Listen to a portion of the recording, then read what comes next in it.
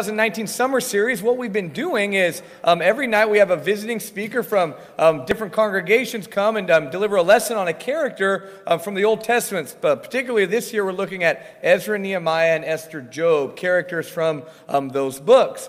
Our speaker tonight is Brother Wesley Walker, and Wesley, everybody knows here at the congregation, um, married to Amanda, children Presley, Audrey, and Emmett are all here. We're excited to, to have them here. I'm sure Grandma and Grandpa are excited to see them here uh, too, as is all of us.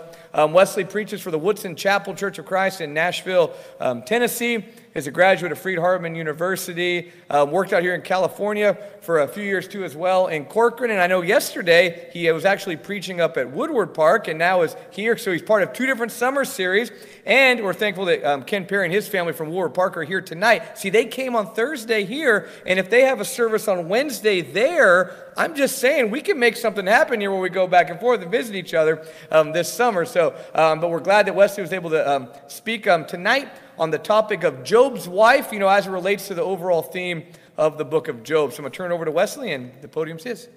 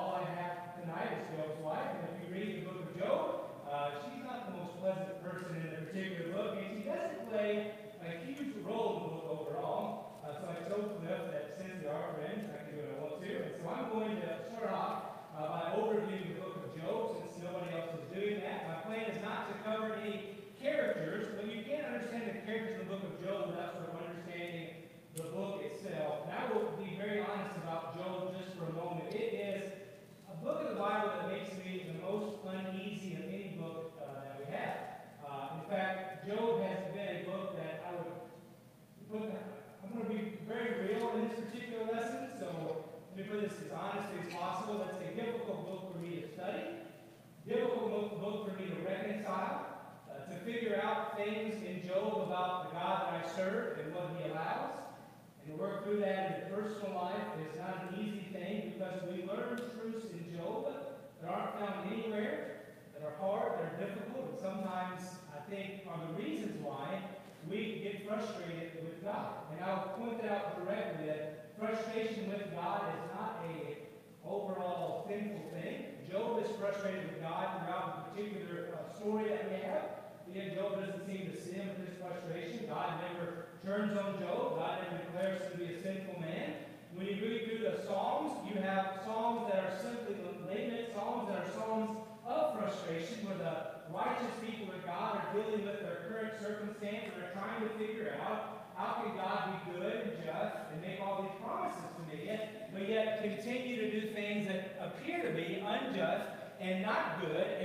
are difficult for me to deal with. And Job is, is one of those books, even back in preacher school, we studied it. I thought this book doesn't set well with me. And I also thought, maybe it's a negative idea, that God has this book not setting well with me because maybe I'll need a book like this in the future. It turned out I did pretty immediately after that class, and then 10 or 12 years later, even more so. Job is one of those books where I don't think we're supposed to read it as sort of a a story that has a, a, beautiful, happy ending. We're supposed to say everything worked out the way it's supposed to.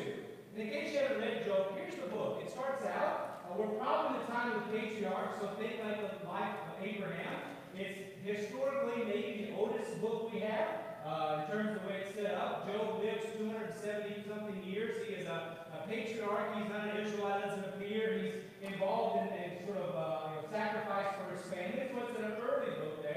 And we got this righteous man, Job, and Job shows up and he has sacrifices for himself and his family. He's a man of great integrity, and all of a sudden we have a story in which there's a son of God who's Satan, the accuser, stands before God and says, Job only serves you because you've been so good to him.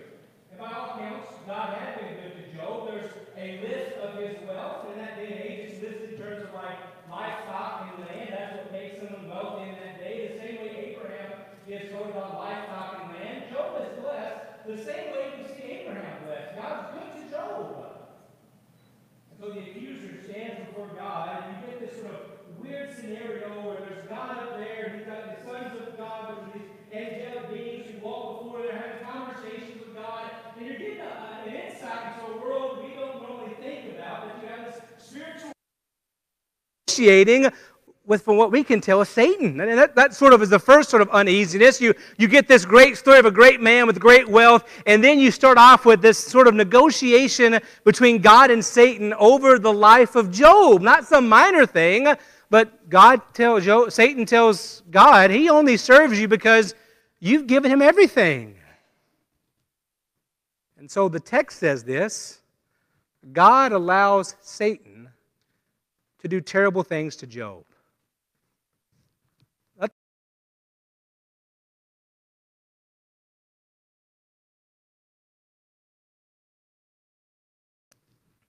Prays, offers sacrifice for his family. I mean, this guy's going to worship Sunday morning and Sunday night and Wednesday night, and he's having family devotionals, and he's saying prayers to God, and he's giving extra to support different works, and he's evangelizing his friends, and he's praying for his kids, and he, if they forget to sacrifice, he makes sure that a sacrifice for him He is the, the ideal person. He's a righteous man. And yet the story is about the destruction of his life. It'd be one thing if the story started off with there's this righteous man named Job and Satan did bad things to him can handle a story like that, right? Or we stop and we think, yes, Satan is known to do bad things. I can see that. But this story is not there's a righteous man named Job and Satan did bad things for him. In the middle of this is there's a God, our God, who says, yes, you can do it. He limits it and then takes that limit away. But the story is God tells Satan, we'll test his faith then. Think about that for a moment. God could have kept the hedge of protection around Job. See that makes me uneasy?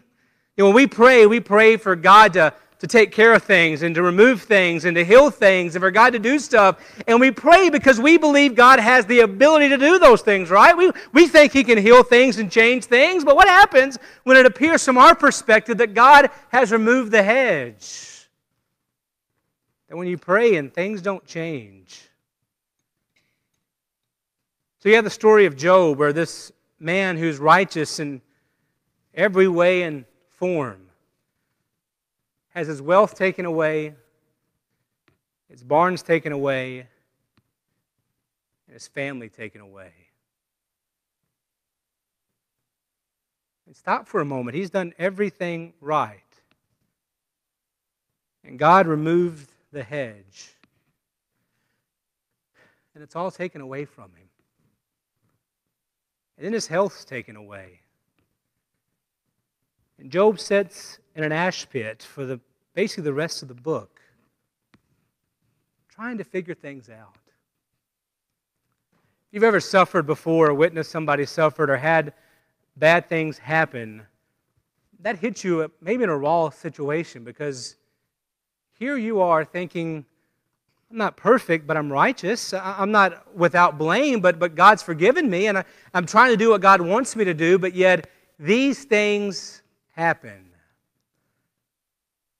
And from our perspective, we know why. We might not like why, but we know that God has allowed Satan to test Job and to see if his faith is genuine or not. We know that's what's taking place here. Job does not. He doesn't get an introduction to his story where he finds out it's a big test. And I wonder if Job might be madder if he did. The story works through with Job's friends coming up and trying to explain to Job why this happened to him.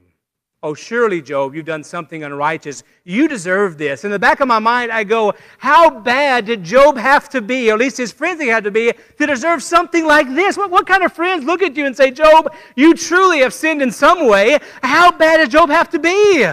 He lost everything, his family, they're all dead. He doesn't have his health, and his friends are saying, let's figure out what sin you committed. One of the fellow preachers at Woodson Chapel's wife, passed away of ALS uh, last year. Her and Emmett were diagnosed the same week, uh, or about the same time, with CF and then her with ALS. And we prayed for her and prayed for her and prayed for her. And we prayed for Emmett as a church, and we watched her decline in health, and then she died. We watched Emmett struggle and having cystic fibrosis and knowing the stuff that goes along with that. You've got that there. And then you read Job and you Know that God could have put a hedge around her, or in my case, my son. Or in the cases of most of you, there's somebody in your life that you said, God could have protected. That's what Job starts with. The story goes on, and you have this sort of rundown where each friend is trying to explain to Job why you have sinned. And each one of them say, Job, just admit your sin, and God will relent. You just, just say what you've done. And, and I won't steal the person who's going to do Job's big point, but Job's storyline is basically this I'm a man of integrity, and I'm going to keep my integrity, and I'm going to continue to be righteous because I don't deserve this. And throughout the entire story, Job is a man of integrity and a man of righteousness. As everything around him crumbles. But all of his friends are saying, Job, you've done something bad. Even his wife says, Job, just say goodbye to God. Our Hebrew word there is often translated cursed, but the word can be translated like bless God.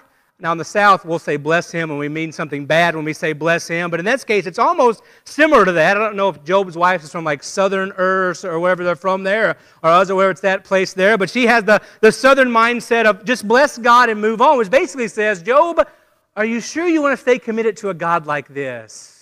I thought we want to think about Job's wife. We normally look at her as being this sort of heartless individual who, who is, who's, who's, who's terrible to her husband. But don't forget, she's lost all of her wealth. She's lost all of her family. She has a husband suffering. She's seeing all of this. She might have her health and everything else has been taken from her. In her mindset, she's saying, Job, is it worth it to follow God? Job, are you sure it might not be better just to say, God, I've given up? Take me out of this. Maybe not curse God in the sense that we have, or you throw your fist up in some way, but just say, God, you've won. I don't want to serve a God like this. So he has this whole situation of bad things happening to him over and over again. Asking God why, and God doesn't tell him. And at the end, Job gets what appears to be a happily ever after, right? A wife and 10 kids and more money. Let me ask you this for a moment.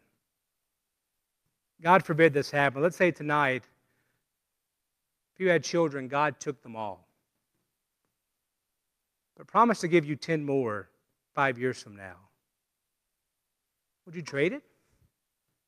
Would it seem whole to you in that moment? Would it seem like everything's worked out because, hey, I've got 10 kids now? Would you not care about the ones that had roofs falling upon them? Do you not still have that in the back of your mind? I mean, even the restoration of Job to some degree seems uh, a bit like it. Yes, he, he gets things good again, but let's not forget what happened to the guy. There's still sons and daughters laying in graves he lost. You don't see uneasiness of the book? There's no happy ending. It, it's written that way. It's, it's written to be a, a, sort of a, what we might call an ancient epic. This idea of this great story, like you might see in, in terms of, of Iliad, the Odyssey, those sort of ideas of, of walking through the condition of man. And you have this happy ending at the end, but it's not as happy as you think it is. When you think through the whole story, you think, well, hang on a second. He, he had wealth, he had family, he had people. He gets it back tenfold, but, but no parent says, well, yeah, take my son and give me ten more and we'll, we'll call it even not how things work. And so Job is one of those books that, see if I can get this to move, makes me uneasy, and I think it's on purpose. What's the point of the book of Job? You know, some say Job is about answering the question of why do men suffer, but read the book. It never answers that question. Not one time does we get any explanation on why men suffer. All we get is one of those almost like you do as a kid when your, your child is asking you questions and you, you got this, you know, why is this and why is this and why is this? You just say, I told you so, or because it's what your mom and I want to do, where you just tell them basically, you don't need to know an answer, and maybe you can't handle this answer. That's what God does to Job. Shows up in a whirlwind with all this power and tells Job, Where were you when all these magnificent things happened? And in chapters 38 through 42, we have the creatures being mentioned, we have the stuff that takes place, and we have the creation of the world. And he says, Job, where were you? Did we consult on this? Were you a part of my divine council? Did you give me insights? No. So I'm not going to give you any.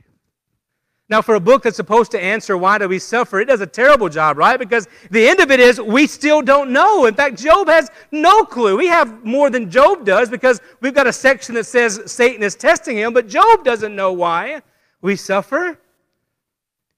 And the book doesn't necessarily explain away righteous suffering versus unrighteous suffering because we're still not given a clear reason why. Yes, Job is righteous, but does that mean every righteous person should expect a Job like moment? How many people would raise their hand and say, I'll, I'll become unrighteous? If, if, if being righteous means I'm going to face a Job like scenario, then I don't want to be righteous. So it's not like every righteous person has a Job moment where they lose everything and get tenfold other stuff at the end. That's not how things work either. The book's not answering those questions. The book is purposely dealing with the reality of life as we know it, that life exhibits a randomness to suffering, and sometimes we can't explain that, and we just have to live it anyways, and sometimes, to make it even more uneasy, God's behind that suffering even though it's indirect. We sometimes want to and I, I, think it's fair to say this, we want to give God a, an out, so to speak, where we say, well, our sin causes suffering, which is true. Sin caused the suffering you see in this world. But, but Job doesn't give us that option because we know God could tell Satan enough and this all stops. So I'm assuming God could do the same for any of us. If God could put a hedge around Job and bless him, couldn't Job put the hedge around me and do the same for me? So it makes me uneasy. I read Job and don't think, yes, I've got answers to take place and things looking great. I read Job and I come back with some serious questions. But I think that's the reason for Job. We want simplistic answers to difficult situations. You know, the big thing on the internet now is listicles you have like, you know, 10 ways to make a million dollars or five ways to, you know, smell better or whatever it might be. And they want to have these sort of quick things here. There's no listicle for Job. There's no like four ways to guarantee you won't suffer, or two, reasons, two ways you can find out immediately why you're going through hard times, or how to build a hedge that not even God can tear down. There's none of that we have here. It's supposed to have us end here and go, man, we live in a world of unpredictability. So all we can do is live righteous with not having answers. Isn't that kind of hard to do, though? That God wants you to live righteously with unanswered questions and tells you you can't handle those questions. You've got to keep living.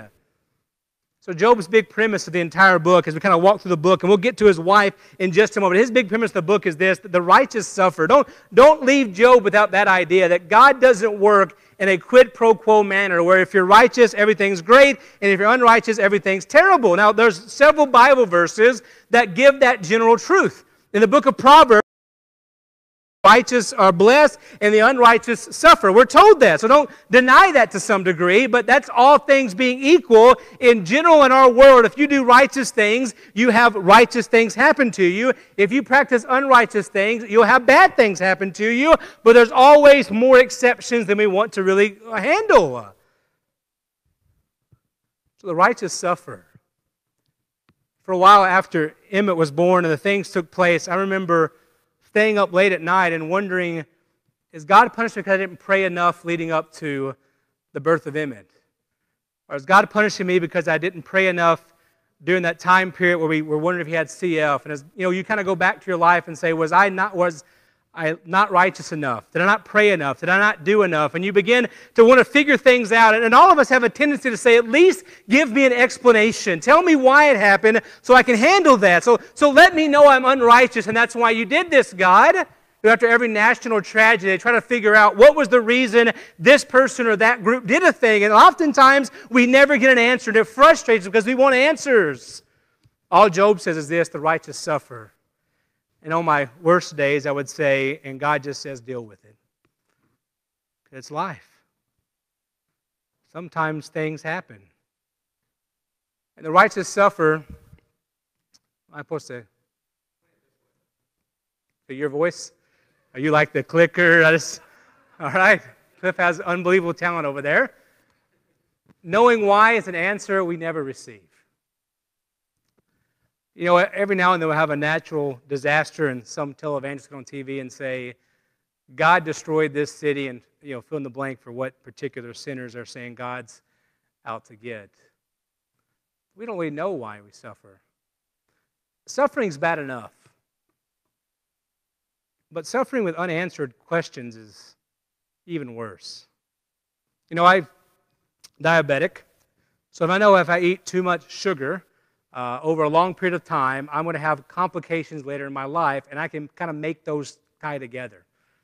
So I know that there's a, there's a, there's a tie there. You kind of know those things work together. But oftentimes, there's no tie. Wouldn't it be great for God to say, here's why this happened? That is the question Job wants answered. He tells his friends, stop talking. Put it more bluntly, he tells his friends to shut up on a couple of occasions and said, I'm waiting for one person to answer, and that's God. And Job believes he deserves an answer.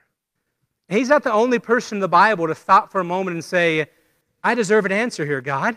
Read the Psalms for a moment and see the righteous people of God say, God, you made a promise to me, but you didn't keep your promise. You, you told me you would do this, but you didn't do it, so I want an answer. And yes, sometimes the answer is the just will live by faith, but we still want an answer. We want God to, to tell us, why did you do this to this person? Why are they supposed to suffer? But He doesn't tell us it. I think in my mind it would help if God would stop for a moment and come down and say, This is why that happened, so I can compute it. And maybe it would help. Maybe it would. Maybe, maybe I would be more angry at God in those moments if He said, The reason why this happened to you or your family or to your son is because of this. And I thought that was a minor thing and say, God, how can you do this to me? Maybe I'd be more upset about it. Or maybe if God said, Well, Satan said your, your life was blessed, and so He gave you this extra push to test your faith, maybe I'd be more angry at God. And maybe Job would have been. But God doesn't give us answers. I wish He did. I've spent sleepless nights trying to ask God to give me something. Give me a reason. Tell me why. Job sits asking God, why do these things happen? You know, counseling individuals who've gone through things like divorce where they've loved a spouse and the spouse walked down on them, and they sit there and they say, God, why? Watching an associate minister's wife die of ALS and seeing the struggle of God asking why. Those are questions we wish we know, but God doesn't tell us. We have to sit with uncertainty.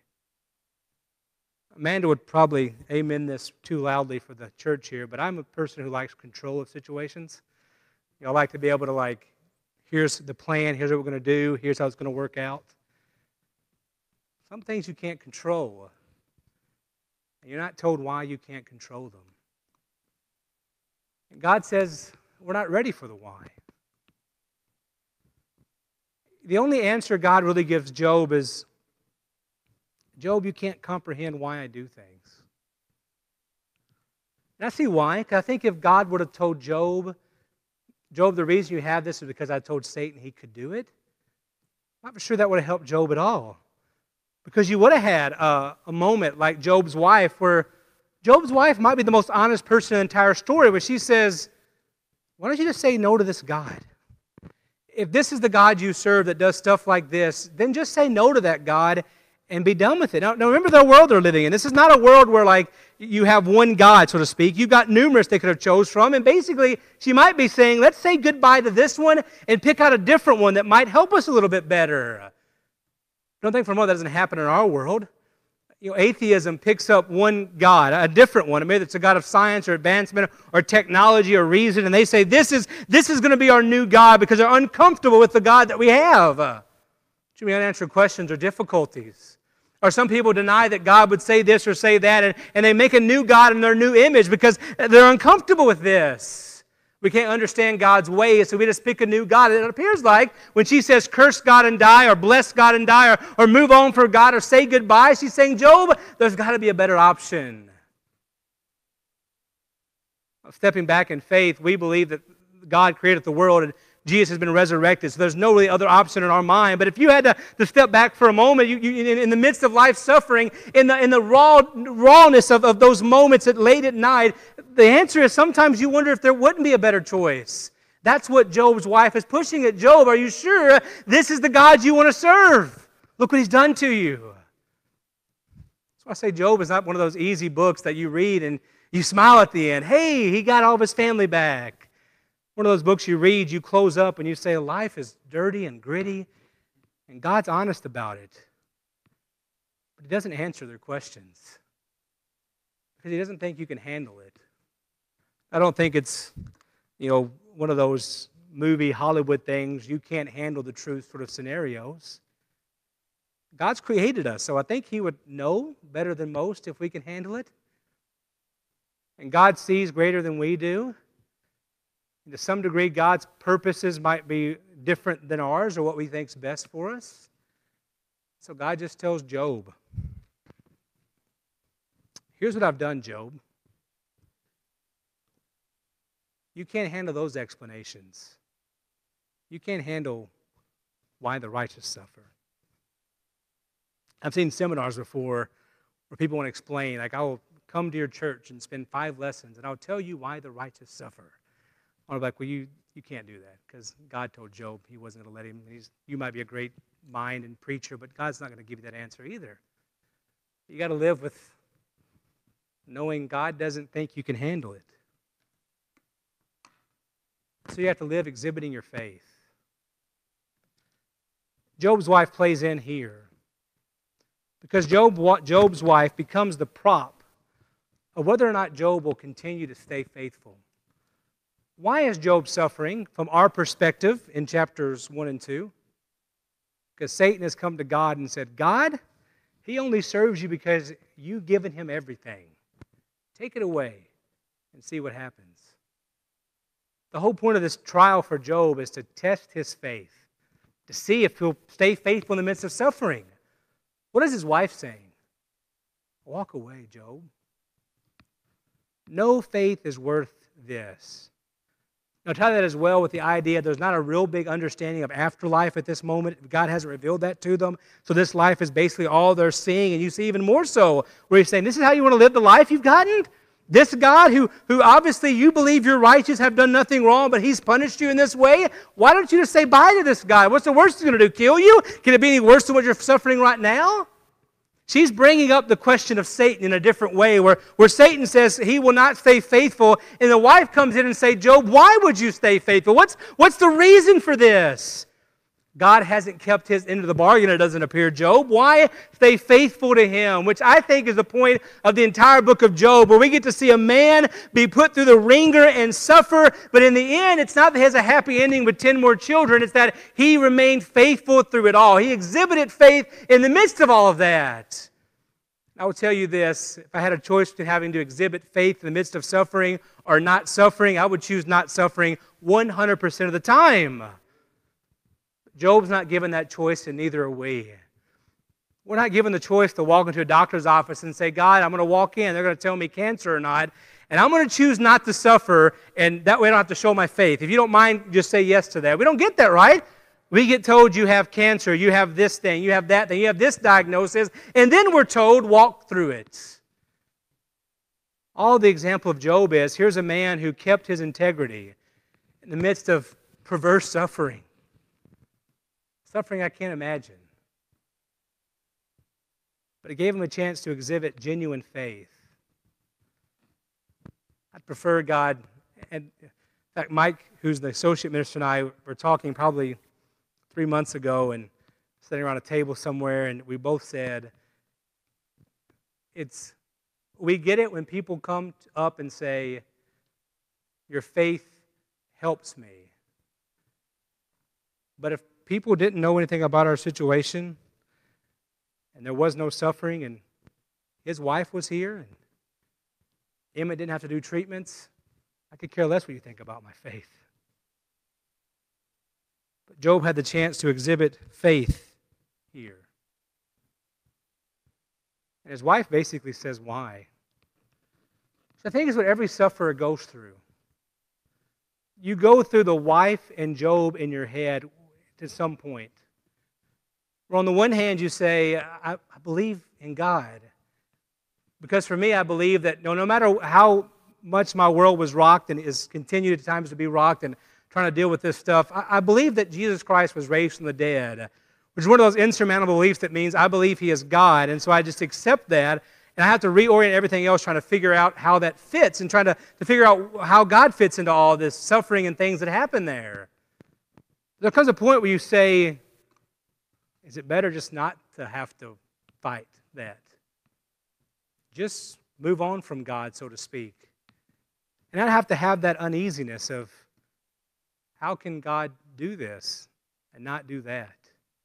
Job presents that, that fight and within the couple of a married couple, Job and his wife, and Job holding on to his faith and integrity throughout, and the wife saying, Job, it's not worth it. And in our own lives, we have those moments where we say, God, why did you do this? And for some people, they come out there so strong in their faith, and for others, where we're going, maybe it's best just to step away. At least I wouldn't have the anguish of believing my Creator in some way has betrayed me. So there's this fight here. Well, you have to decide if you're going to exhibit faith or not. You can't choose, and wish we could, if you're going to have suffering. You can choose if you exhibit faith throughout it. On a side note, I won't get into this. I got to point to Cliff there, back. Can we go back a slide? Who am I hitting here? He's, all right, I see a red dot there. Now I know where I'm pointing it at here. Cliff will deal with this when he deals with one of the friends, Eliphaz or Hadad or whoever's in there. But when it comes to suffering, Job also tells us this you can lighten the load or you can increase it. I have cringed at what people have said to others in the midst of their suffering. I have cringed at what people have said to me.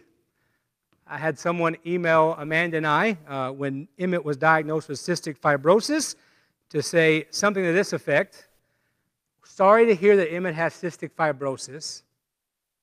I hope everything you guys are doing well. Two spaces. I've got this product that I believe can help him during his particular time, and I think if you purchase it, it would help his clearance. To which, when I read it and Amanda read it, I told Amanda, I'll respond to this one because I didn't want to see what she might write back to that person in that particular moment. You think, what are people thinking? The best thing you can do when someone is suffering is this tell them you love them, tell them you're sorry, pray for them, and then don't speak unless they do. Younger, I'm still a younger preacher, but the gray in the side of my hair makes me feel like I'm getting older by the day. So when I have younger preachers who in their early 20s ask me, I don't, I don't like going to hospitals. What do you say? Tell them it's easy. You say nothing. You say hi, and you're there to pray for them, and you let them talk. And some people will talk your ear off, and some will kind of give you the hint of get out. What do you do when you have somebody who's been in a car crash? I was at Woodson, I guess just a few years, we had one of the kids in our youth group die in a car accident. 15 or 16 years old. I go to the hospital. I'm told when I arrive, he's dead. I sat down, said nothing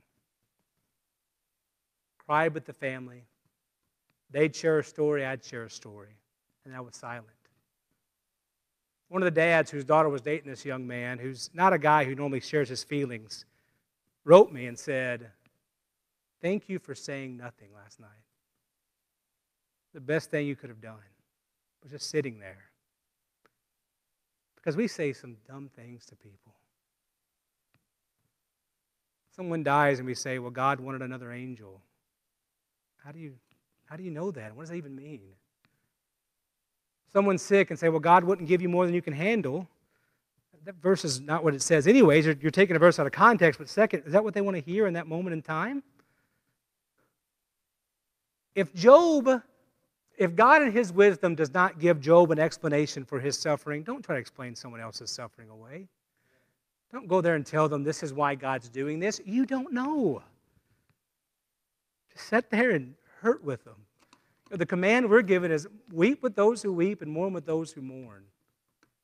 Sit and cry and weep and just do that. The best thing Job's friends ever did was sit there and not say anything. When they tried to explain the situation to Job, they became, as Job said, terrible friends and witnesses. We conclude with Job's wife here. How does she fit? You know, when Cliff told me I had Job's wife, I first said thanks. I must have been the last person to sign up for summer series if that's who you gave me. Until I realized Nick has Haggai, and it's not Haggai the prophet, it's some other Haggai I've never heard of in the Bible, and uh, Nick has him there. So, uh, yeah, Nick will have some work there at the end. But then the more I read Job, and on Sunday nights we're reading through books of the Bible at Woodson Chapel and discussing them. The more I read Job, and the more I thought, how does Job's wife fit this story? I thought Job's wife is probably pretty honest with her feelings here. Now, we kind of give her a bad rap because how, how could anybody say, walk away from God? But read the Psalms. David says, How can you do this, God? Righteous men and women say, God, how dare you do stuff like this? They question if they should walk away from God or not. Because the truth is, people of faith who believe that God is good, that He's the Creator, that He died for us, when they have bad things happen to them, causes us this questioning. And those doubts aren't bad and they're not ungodly. They might not go away, at least some of mine haven't. But you've got to choose which path you'll take in life. Will you be Job and say, I'll keep my integrity and serve God no matter what? Because He gives and He takes away. Or do you take the path of a Job's wife that says, walk away from a God who'll do something like that? That's what Job ends us with. But that choice, yes, there's the happy ending, but it's not as happy as it appears. But it says, which one do you choose? Do you look at Job's wife and say, maybe she's not as far off as we think she is? Is it worth it? Or do you look at Job and say, I wish I had more answers? I wish I knew why. I wish God would have kept the hedge up. But God gave, and God takes away. Blessed be the name of the Lord. And that's the fight in Job. So next time you read Job and you want to use his wife as a punchline, set for a moment with your own suffering or someone else. And ask yourself if you ever had those moments where you thought, God's been unfair with me. Maybe I should walk away. That's what Job's wife is saying.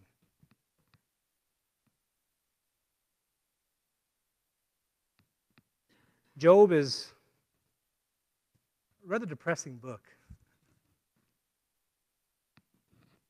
But life can be rather depressing.